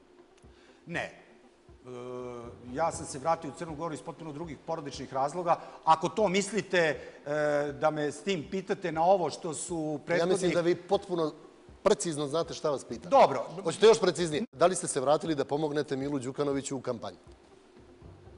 Želite preciznije pitanje? koje kampanje, izvinite? U kampanji protiv onih koji su medijski protiv njega, Aha, politički protiv njega. Ne, ne, ja sam mislio nešto da raspisali neki izbor ili ovo, stvarno nisam znao. Inače Ne. smo u sred izbora i to da vas podsjetim, predsjedničkih. Da, A kao predsjednik DPS-a, gospodin Đukanović je Ne, ne, na da neki kažem- način nosilac Ne, te kampanje ovako, nikakve, gospodina Vujanovića. apsolutno, nikakve veze ni sa DPS-om, ni sa kampanjom, ni sa izborima nemam, niti ću ikada imati, zato što ja sam taj posao davno iza sebe ostavio. Ja sam se time bavio u 90. godinama, 5. oktobra je bila poslednja kampanja koju sam ja radio, ja sam čak i taj posao kao posao prekinuo da radim posle toga. Ne, u Crnu Goru sam došao s pletom e, okolnosti, pre svega porodičnih, Ja sam umeđu vremenu dobio i oformio imam porodicu sa grupom ljudi, meni bliskih, uglavnom bivših političara ili ljudi koji su se bavili u politici, kako iz Crne Gore, Srbije, Bosne, ali i inostranstva. Poslednjih jednu godinu, godinu i po dana smo razgovarali i stalno smo se sretali, nalazili, razmišljali šta je to što bi mogli da uradimo i doneli smo odluku da oformimo jedan pravi think tank međunarodni koji bi bio u Podgorici, Sarajevu, Beogradu, videli bi da li bi se šetali, dalje govorimo o Balkanu. Podgoricu sam izabrao kao prvu, vrlo brzo će sad da bude otvoren i u Beogradu, a, samo iz razloga što a, sam ja inače a, poslednjih nekoliko godina, pet meseci ili šest meseci godišnje žive u Crnoj Gori, sam u Herceg Novu. I to je razlog zbog čega sam tu došao. Ako budem, znači, mislim i siguran sam da će ljudi s kojima ja dolazim znatno pomoći da se ta sfera društva, elite, nevladinog sektora, jer ja ono što sam imao prilike da vidim ovde, to je da u svim oblastima vlada strašan primitivizam i amaterizam. U ovome govorim u poslovnoj strukturi, ne govorim o ovima drugima. To što sam ja mogao da vidim. Video sam da tu... Ovo ću preskočiti da komentarišem samo zato što vas tretiram kao domicilnog. Pa, naravno, ja tako i govorim.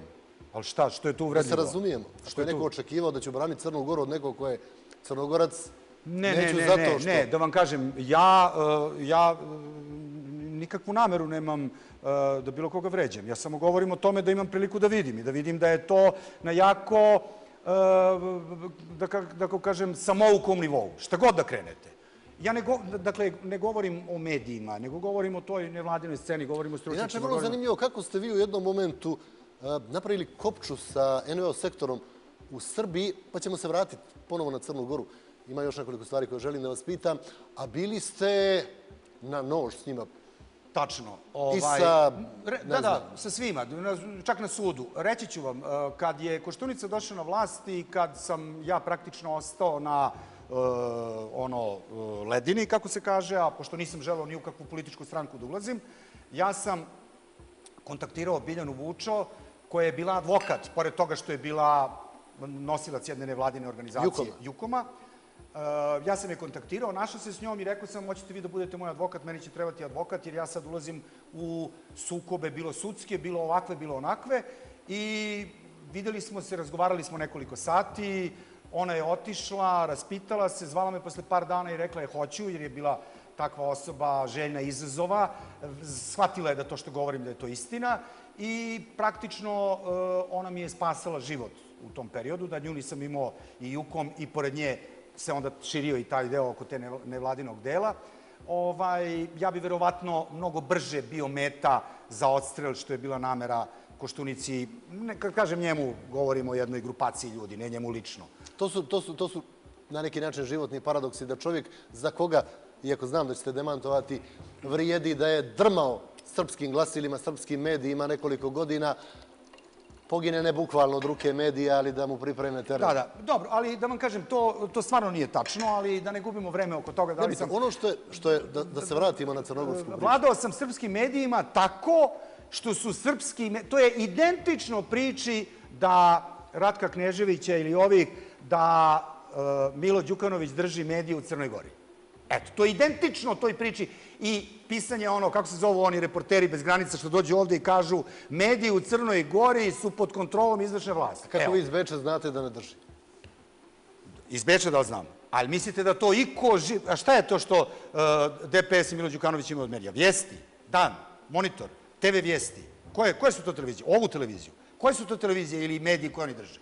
Pa naravno, to je identična, ali to je ova što vam kažem zamena teza. To je, mene je trebalo napadati, zašto? Zato što sam u sukobu s Veranom Matićem, a mi smo u sukobu s Veranom Matićem.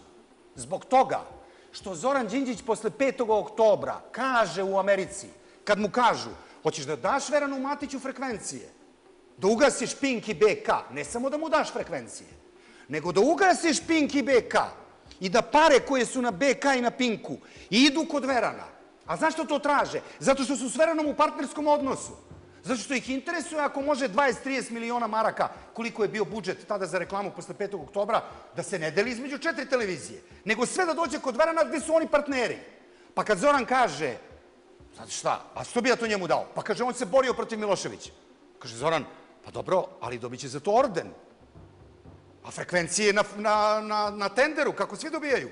Onda ovi skoče, nećemo ordene, hoćemo frekvencije. I krenu u satanizaciju Zorana Đinđića jer nisu dobili Pa nešto što su oni hteli. ni Đukanović Takva nije je situacija ordene. i ovde. Ne znam da li je ovde ordenje ili ministarska mesta ili šta je u pitanju, ali je identična situacija i ovde. Ovdje je osnivao medije, nije dijeli ordene. Nebitno je, pomagao je Verana Matića. Bili smo s njim na istoj strani dok, je, dok smo bili protiv uh, uh, Slobodana Miloševića. A da li je to značilo da je prvu stvar kao premijer trebao da uradi protiv zakonito i da kaže gasim druge medije, da se ponašam kao Slobodan Milošević. Borio sam se protiv njega i njegove diktature i nepoštovanja zakona 10 godina. I sad sam došao na vlast, e sad, nepoštovanje zakona, sad je na pozitivnoj strani. Znači, možeš ti da budeš loš, ali ako podržavaš Verana Matića, ti ćeš biti dobar. Možeš ti da budeš saradnik, švercer i pravi kriminalac, ali ako ti podržavaš vijesti i monitor i tu grupu i da, nema problema, to će se od tebe kriti. E, iz, nećemo informacije objavljivati koje hoćemo. Koga ćemo da e, targetiramo kao mafijašku grupu tih nekoliko ljudi? Nema problema, oni će narednih deset godina da budu to. Dakle, Da nije li, vi, tačno da, li, sam... da, da li vi i ovom pričom pripremate teren za proboj Pinka u informativnoj ravni po kojoj do sad nije bio Dobro. Bog zna kako dakle, poznat. to pitanje, da protumačim gledalcima, to pitanje ovako deluje u čaršiji, evo već desetak dana, 15 A mi se dana. krećemo i čaršijom. Pa dobro, ali to tako izgleda. Uh, grupa uh, novinara iz grupacije Vijesti već dve nedelje ide po Podgorici i raspituje se šta ja tu radim, objavljuju tekstove po novinama, podmeću, počinju pripremu, uh, za sad iz daljine onako, viđen je da se kreće po Podgorici. Valj- Valjda se smucam negde ispod automobila, A da se sad krijem. čak i za moj ukus previše njima bavimo, ali pitao ne, sam ne, pa vam- odgovorite. pa ne, ali od njih sve počinje. Oni su inicijatori zla, pa i ovog pitanja. Da zovu Željka Mitrovića, da zovu redakciju, da pričaju novinarima na sastancima da sam ja došao da se bavim, da ja budem direktor Pinka. Da li mislite da bi ja 2013. godine došao da budem direktor Pinka Crna Gora? Da li mislite da to ne bih bio ranije? Naravno da to nije tačno. Ali ih nervira moje prisustvo, U nervira ih ideja, nervira ih, pa da vam kažem, možda ih nervira moje prisustvo zato što e, nisam e, osoba s kojom bi mogli na bilo koji način da se utale, možda ću da poremetim sa grupom ljudi stručnjaka koju dovodim u zar, Goru. Zar, zar niste malo prije rekli da, ne mogu da kažem da je bilo utaljivanja, ali nekog kontakta i pomoći? Da, rekli ste malo prije. Pa ne, ja vam kažem, moj kontakt sa njima se svodi na to da osim toga što su nekada u 90. i posle 5. oktobra par puta dolazili kod mene u firmu, više se i ne sjećam, podsjetili su mi ljudi nešto od nas da traže, da im pomognemo, da li budžete, da li reklamu, više se ne sjećam, znam te ljude, znam ta imena, Šćekić, Ivanović, znam to. Dakle, znam da su bili, ja s njima dodirnih tačaka nemam. Ali pošto se oni bave sa mnom, pošto se oni bave sa mnom, pošto oni zovu telefonom, pošto oni traže, pošto oni, ne, ne samo sad ovo poslednjih mesec, dva koliko sam ja u Podgorici, nego su to radili i prošle godine i pretprošle godine, nađu one neke što vas zovu 300 puta telefonom, samo da se javite na telefon da vas pitaju jeste čuli šta je rekao novinar Božinovski iz Skoplja i Ratko Knežević, kako komentarišete? Pa nije važno da im se ne javite sutra na naslovnoj strani vaša slika i ispustio telefon. Dakle, sa takvima sam se poslednjih deset godina borio, i nastavit ću da se borim, budu li mi na bilo koji način smetali onome što ja imam ovde da radim, što nema dodirnih tačaka sa njima. Na koji način ću se suprostaviti? Pa na način da ću, da ću ih raskrinkavati, na način da ću, kao što sam raskrinkao medije po Srbiji i te pojedince, većinu njih o kojima sam knjige štampo, ne, mislim, ne kažem da ću to ovde raditi. Prvi put kad budu, ako budu nastavili da se time bave, počet ću da iznosim u javnost ono što oni rade i način kakvi su to novinari. A evo reći ću vam jedan primer. Jedan primer koji je svež. To vam je sledeći primer. Vi znate, sigurno ste čuli, ne verujem da ima građanina Crne Gore koji nije čuo. Za čoveka koji se zove Gerardo Cuomo. Ste čuli za njega? Da, ali nisam siguran da baš toliko crnogoraca zna ko je. Ja mislim da, ja mislim da za ime Šelzija i Kuoma nema građanina Crne Gore koji nije čuo. I SČ. Ja mislim da ne postoji ko to nije čuo. Dakle, taj Kuomo je neko na čemu vijesti, TV vijesti, dan, e, monitor, poslednjih 6-7 godina gradi priču o Crnoj Gori kao mafijaškoj državi, o suđenju u Bariju, o tome da je Milo Đukanović šta se viđao, kako se viđao, objavljivani su transkripti, odakle sve to? Od, odatle da je 2005. godine taj Cuomo, kao svedok, kao optužen u tom procesu, posle je bio oslobođen, ali svejedno, tada dao iskaz, koji su oni bar jedno 500 puta objavili. I malo, malo, kako prođe 10 dana, oni taj iskaz objavljaju. Samo ne objavljuju 71. stranicu. Iz tog iskaza, 71. Zašto ne objavljuju 71. Zato što tu Kuomo kaže kako je došao u Crnu Goru. On kaže da je bio poslovni partner sa Žarkom Markovićem, koji je bio direktor Zeta Transa, i da su se spojili Žarko Marković, on i Lekić, ambasador, bivši ambasador, član vlade. i da on i Lekić, da ga Lekić ubeđuje nekoliko dana da će mu on srediti sastanak sa Milom Đukanovićem. I da on nije siguran i da mu ne veruje, dakle govorim o njegovom iskazu, koji ga pita tužilac jer ima telefonske razgovore, gde Cuomo u to vreme razgovara sa onim nekim, kako se zvao, Provenzano ili kako se zvao onaj Prudentino ili kako je bio onaj drugi. I ovi ga pitaju, a s kim to pričate? On kaže, pričam o tom Lekiću ambasadoru koji je bio tu, koji je meni rekao, ja nisam bio siguran. Međutim, on je meni uspeo da me odvede kod Đukanovića i da mi kaže da ništa ne brinem, da će taj posao da bude u redu i tako dalje i tako dalje. Sad, dakle, Jel da vas pitam? Sa- sa- Da- ne, ne, ne, odgovorite mi kao novinar. Da li mislite da je slučajno u prethodnih 7, 8, 10 godina jedino taj pasus i ta 71. stranica iskaza sklonjena? Mislite? Pa naravno da nije. Dakle, iskoristili ste, iskoristili ste ranije jedno pitanje. Sad samo napomena. Dakle, rekao sam malo prije, u sred smo predizborne kampanje. E, to što ste Pustite rekli... ono tit. To nećemo puštati ništa. Dakle, samo da vas napomenem da će, čini mi se, 3. aprila gost u živoj istini ili četvrtoga, nebitno, uoči izborne šutnje, dan, biti Miodrag Lekić i imaće priliku da komentariše ovo što ste vi sad rekli. da vam kažem, ja vam govorim o Žarka egzaktnom podatku koji postoji na internetu. okej, Žarka Markovića Nisam ja to dobio u DB u Srbiji, nego sam pročitao na internetu pre nekoliko godina. Čovjek je, ako se ne varam, član glavnog odbora DPS-a, govorimo o gospodinu Markoviću, i htio sam da vas pitam odakle vam 71. strana, ali evo Sa interneta sam pročitao. Pa kako da vam kažem, pa jer, e, vi ste prvi put čuli za, za izjavu njegovu. A to ste, ako čitate novine ovde u Crnoj Gori, od 2005. do danas, pa to se svakih tri Ne, dana ali, objavljuje. ali za ovu stvar prvi put čujem. Dakle, ja ne ulazim, gospodine Šuković, ja ne ulazim da li je to što je Cuomo rekao tačno. Ja ne ulazim da li je to istinito. Ja ne ulazim da li su stvarno on i ovaj se videli, da li je ovako bilo ili nije. Verovatno da je tako. Ja pričam o drugoj stvari. Nemojte da mi pričate da ste vi neki profesionalni novinari, da ste vi sveci koji uzmu iskaz, čereče ga, rečenice, analiziraju, znaju, do detalja se bave najvećim finesama. Šta rade- Koji je adresa u Milanu, da idu da šalju novinare, da slikaju, gde je ova sedela kad je bio telefon, koja je marka telefona, a da samo jedan mali detalj, nekoga koji je njima blizak, svejedno da li je to Lekić ili je Ratko Knežević ili je neko od njih, da se to iseče, da se to skloni. Šta, radi Šta je to? Kako se zovu ti šta ljudi? rade, šta rade štabovi Mila Đukanovića, Filipa Vujanovića, političkih protivnika i tako? Kako da vam kažem? Ne, prosto mi je nevjerovatno da to niko nije primijetio prije vas. Evo, kad, kad, budu, kad bude neko od njih... Ne, ne radi 71. se da strana li, ne, ne radi se da li je primetio ili nije primetio. Ja vam samo kažem, ma takvih stvari imate hiljadu. Pa hiljadu. Pa čekajte, ovo je što ste, što ste što u prethodnoj emisiji što ste pokušavali da ovaj, zagonetkom rešim kako se zove. Jel mislite da je dovoljno objašnjenje za javnost Crne Gore, za tu neku u koju oni sebe spadaju, to što je izjavio da on e, ne zna za koga je pisao kad je radio o identitetu. Jel bio neko da ga čereči i da ga pita i da kaže, dobro, okej, nisi znao. Ko te spojio s njima? S kim si se spojio? E, Ko ti je davao pare? Gradiša Katić, Slobodan Jovanović, Predrag Jeremić. Ili Dušan Spasojević. Ko? S kim? Kako, kako si ti to? čekaj, vi- Vila ti je u snu došla pa ti je rekla, evo ti napiši tekst, a ta ista vila ti poslala anonimni koverat 200 maraka, 300 maraka, koliko je dobio tih para od narkomana za pisanje tog teksta. Ne, nego on je kolumnista identiteta za koga su svako u Srbiji znao da su to mafijaši. On, koji zna, on meni zna sve, on zna adresu moju gde živim u Beču, on zna čime se... Jedino mali detalj nije znao komu daje pare od... Jer mislite da je to dovoljno?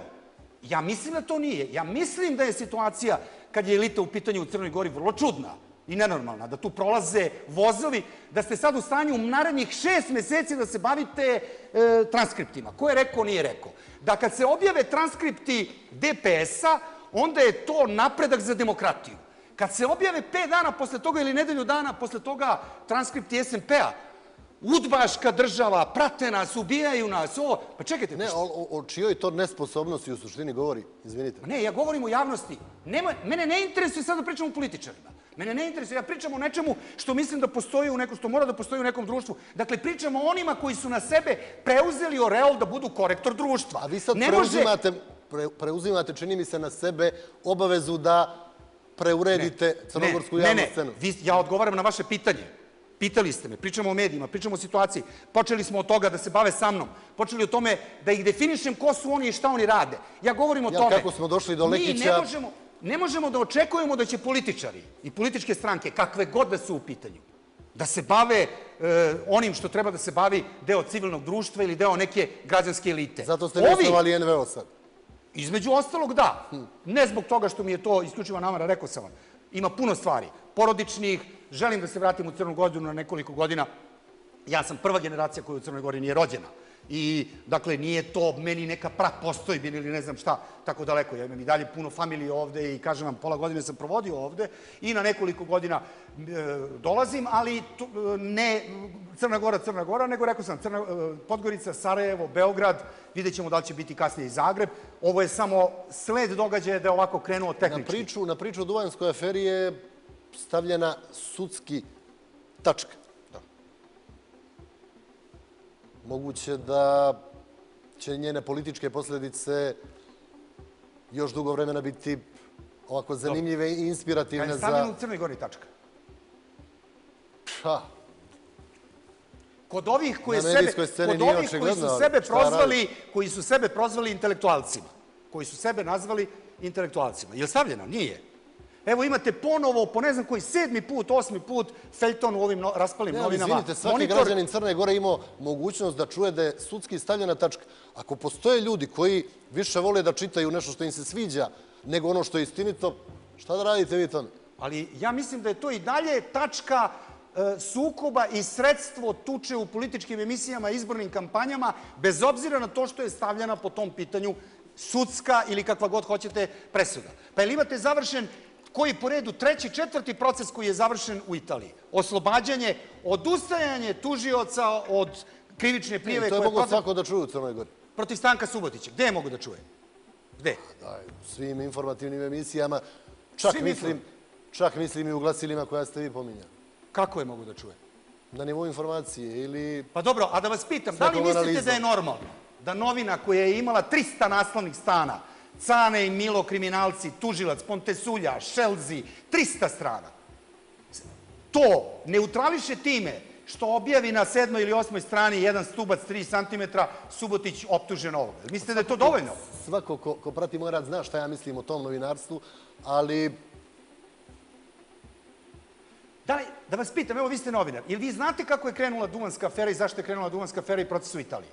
Htio sam da vas pitam u vezi sa Duvanskom aferom, a, nekoliko puta smo bili... Tvrd, evo, za koju da. sam tvrdim da ne zna ni vrh Crnogorske države. Da je... Izdržali ste da im ne kažete to do večeras? Ne, nego ja vam kažem, ne pričam sa ljudima o, o tim stvarima. I evo, da me vi to niste pitali, ja se toga ne bi ni setio. Set, mislim, razumete, potpuno, kako da kažem, nije ništa to spektakularno sad. Sad je, ono, e, posle stvari koje su se desile. Proces u Bariju je krenuo zato što je tokom 2000. godine I sad ćete vi videti stvarima koje su se dešavale da se to poklapa jednim sa drugim. Tokom 2000. godine tužilaštvo u Bariju dobija nalog da pokrene istragu o švercu cigareta. Istragu o švercu cigareta, nalog tužilaštvu da pokrene istragu. Pokreće protiv Srećka Kesnera i Ratka Kneževića. Ratko Knežević, sad, da li je on pokušao u to vreme da traži neku zaštitu pa nije dobio, pa je zato poludeo ili je odmah u startu otrčao kod Hrvata i kod Engleza i tako dalje, spašavajući svoju sobstvenu kožu, kreće u priču slanja pisma u to vreme Milu Đukanoviću i u tom pismu kao, jer to je krucijalni dokaz.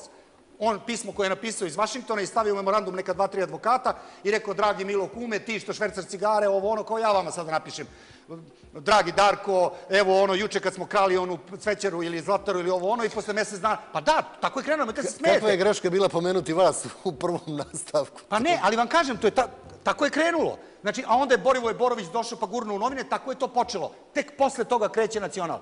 Prvo je bilo e, njegov ovaj, najava oko toga. Dakle, istraga se vodi u Bariju protiv Ratka Kneževića. On rukama i nogama kopa nudi se za svedoka, da sve ako treba otera da bi njemu skinuli. Znate kad mu se skida taj istražni predmet ili kako se to već zove i tako dalje? 2007. godine. Znači, u tužilaštvu gde je Šelzi najbolji prijatelj uredništva Dana i Vijesti, oni su više tamo bili nego u tužilaštvu e, Crne Gore ovde. Sve znaju iz tog tužilaštva. Znaju što je u predmetu protiv Subotića, protiv ovoga, protiv onoga, protiv, ne znam kako se zovu svi oni, bivšeg ministra, protiv Đukanovića, naravno. Jedino ne znaju taj mali detalj. Da je počela istraga i da su dva glavna uh, osumnjičena, Srećko Kesner, koji daje kao osumnjičeni izjavu, kasnije negde 2004. 5. godine, u kojoj negira pisanje nacionala i kaže da to sve što je bilo u nacionalu je laž, neistina. Znači, sudska izjava Srećka Kesnera, koja naravno nije procurila do vijesti i do dana, nije. Ostala je zapečaćena tamo u sudnici u Bariju, ali su zato sve druge stvari procurele, a sa Kneževića skidaju tek 2007. godine. A kako to sve što ste sad rekli o početku istrage korespondira sa onim što ste rekli u jednom intervju, čini mi se, u Playboyu, da postoje operativni podaci da je službenik američke ambasade u Beogradu, koji je kasnije premješten u Prag, odnio od Montgomerija neke papire Pukaniću u Zagreb i da je tako počela da. Da, to je Gabriel Escobar, da, kako ne. Šta kako korespondira? Jedno s drugim? Da. Pa, da vam kažem, on je, uh, on je fizički odneo... S kojim podacima se sad tu uključuje... Ne, ali ajde, ajde da kažemo ovakvom... Ne, ajde da mi odgovorite ne, na ovo što sam vas pitao. ali ajde da budemo precizni. To je isto podmetanje, jer na osnovu ovoga može da se zaključi pa dobro, šta sad? Escobar je odneo podatke o švercu. Ja vama podmećem sad ovim pitanjem. Ne vi, nego kažem, ta priča o tome što sam ja nekad nešto rekao. Da je skraćena, bilo novinarski, bilo obrađena, bilo kako god da ste našli i sad je ispalo. Gabriel Escobar, ja sam njega pomenuo u tom intervju da bi jasno stavio do znanja i njemu i toj ekipi oko njih, da mi u Srbiji smo apsolutno znali kako i na koji način se desila afera, ovaj, duvanska afera. Glavna uloga je bila uloga Mongomerija, koji je tad bio u Zagrebu, koji se nalazio sa Pukanićem i sa Ratko Kneževićem, koji, kojima je on donosio koverte, davao stvari. Gabriel Escobar je otišao i odneo račune firmi Stanka Subotića na Kipru, koje nisu nikakva tajna, nije on imao neke tajne firme i firme su bile na njegovo ime. Odneo račune njegove privatne i promete na kojima je moglo da se vidi da su tu bile stotine miliona maraka, odneo brojeve telefona e, Đukanovića, ministara, ovaj, znači to su stvari koje on odneo. Dovoljno nekome kao što je Pukanić i Knežević, da od tri podatka i 20 laži i 100 poluistina naprave ono što su napravili. Dakle, naravno da je Montgomery, ali mislim da to više nije potrebno da se o tome priča, da je on dao tu međunarodnu težinu Pukaniću, jer Koštunica, Tijanić i kabinet koji je to e, sprovodio i davao podršku, nije bio dovoljan Pukaniću ni finansijski da, da ga pokrije za tako nešto, niti politički. Trebala mu je ova vrsta dimenzije. Naravno da se zna i zašto je to radio Montgomery i zbog čega su se takve stvari dešavale, ali to je već neka druga priča. A mi smo već u, opet, cajtnotu da moramo trkom na reklame i onda na brzinu da završimo i treći blok i da završimo intervju.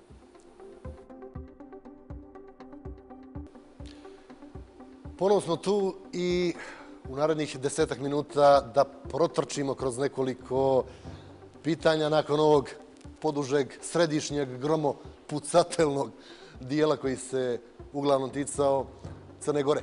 Dakle, da se vratimo na Beograd, na onu priču u kojoj smo i počeli.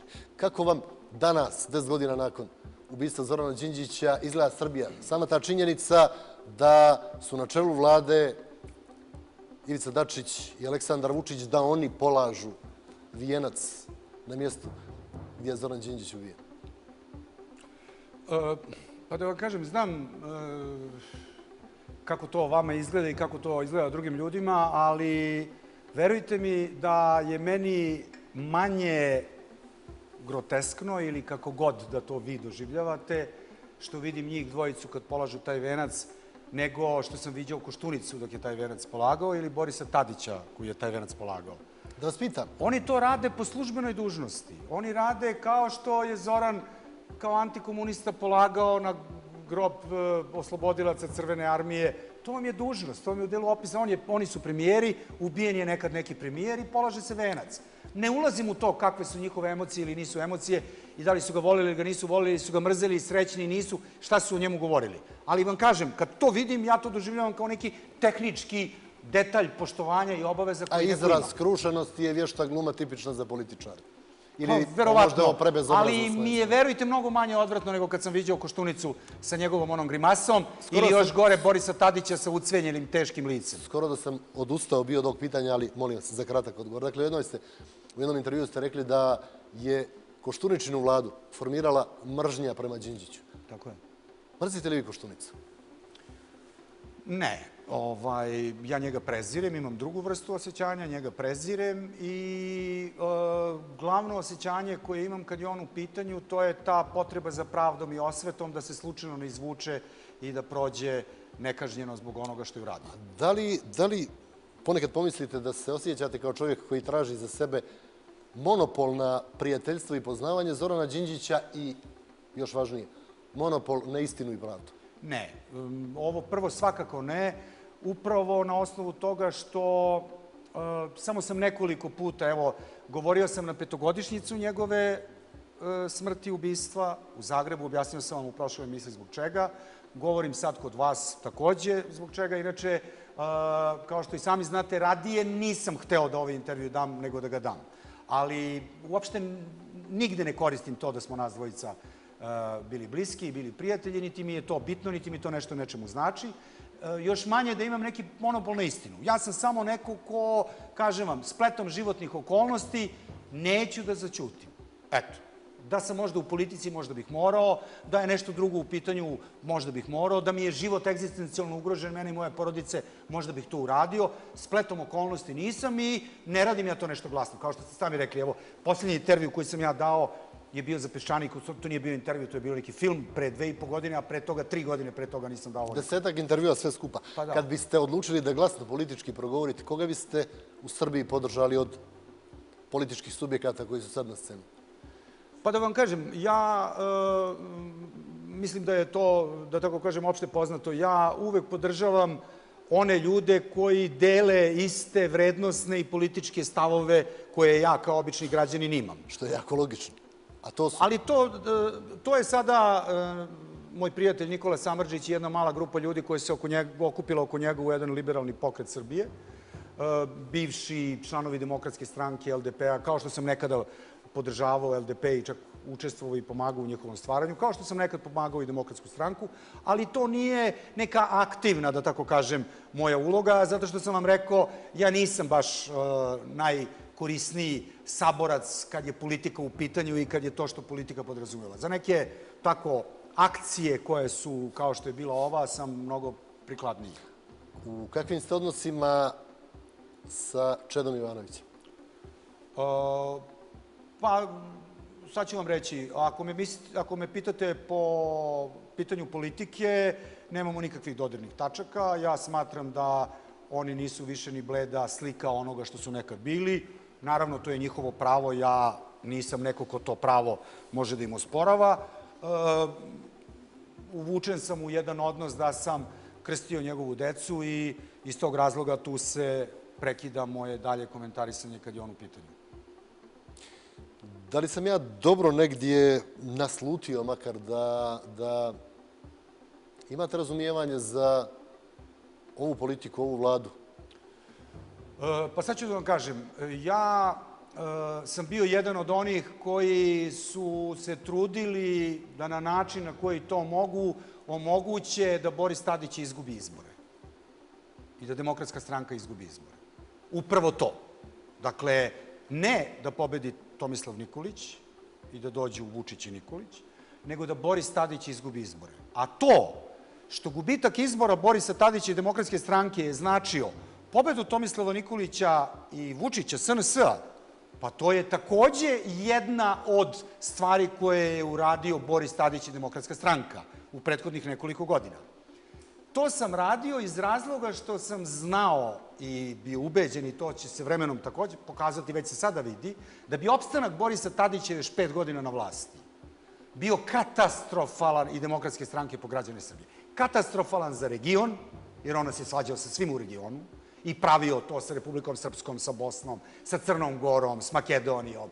U, s Hrvatskom je pravio dobre odnose, ali samo onda kad je imao lične interese. Poput toga da mu donesu Severinu na pladanje, jer se jedno jutro probudi i kao, mogo bi on kao veliki Don Juan Balkana da ima e, skalp Severine i onda naruči intervju u Globusu, izađe intervju predsjednika Srbije u hrvatskim glavnim novinama, gde kao očekujete hiljadu stvari, Vukovar priča, rat, naslov intervjua je Budim se sa Severinom. Dobro. On se budi uz njene pesme. Ne, ne, pa čekajte, a što, što preskačete? Pa to je, zna, to je odlika njegove politike. On organizuje prijem u, u Hrvatskoj. Da bi ona došla na prijem da se s njom vidi da se upozna, a kad ona onako hladno prođe pored njega i... Dakle, Šta, šta je dalje bilo, ne moramo da saznamo u emisiji. Ne, ja vam govorim zbog čega sam bio protiv njega. Evo, zbog ovakvih stvari kao što je ova. Jer sam smatrao da čovek države, čiji je predsednik, u čiji sam ja državljanin, i čiji je on predsednik, ne sme da bude takav čovek. nije- A iza toga je bila pljačka i uništavanje gore nego pod koštunicom. Zar nije sasvim dovoljno bilo ono što sam pročitao takođe I- u jednom vašem intervju, da Boris Tadić nije želio da majka Zorana Đinđića bude u isto vrijeme na grobu Da, na da, jednoj tačno. godišnjici. Da će rekli da dođe- Severina i sve živo, mimo toga ako je to tačno? Pa, zato što, zato što mislim da sam o drugim stvarima govorio malo pre, ali da vam kažem koji je to dijapazon uništavanja jedne države. Rekao sam vam da kaže da pošalje rezoluciju Ujedinjene nacije da ga zovu telefonom da promeni tu rezoluciju. Rekao sam vam 50 stvari koje je taj čovek uradio, a onda sam vam dao i ovo kao bizarnost, jer on je bio predsednik države u kojoj su se takve stvari radile. On se probudi ujutru, poželi da ima skalp hrvatske pevačice i smatra da je to dobro, da će on da bude junak George Clooney, e, pom- pomiriteljstvo Hrvatske i Srbije, a ovamo sa Bosnom zbog Dodika vodi rat, ovde u Crnoj Gori zbog ličnih frustracija Da spremno li da je vodi tačno rat. zaista da, nije, da, da, da su javili da Mila Đinđić ne dođe u Da, da, vrijeme... javili su, kako ne, jav, nije javio on, naravno, javili su iz demokratske Pa stranke i rekli... da je on znao. Da, da, ne, ne, kakav on. Rekli su nemojte da dolazite u isto vreme, da budemo u isto vreme na groblju, zato što je to malo nezgodno, nelagodno. Zašto? Zato što kamere će biti tu, treba da vide da li se grle ljube ili ne, a ako ne, onda će to da bude tema, a ako da, onda i tako dalje, da.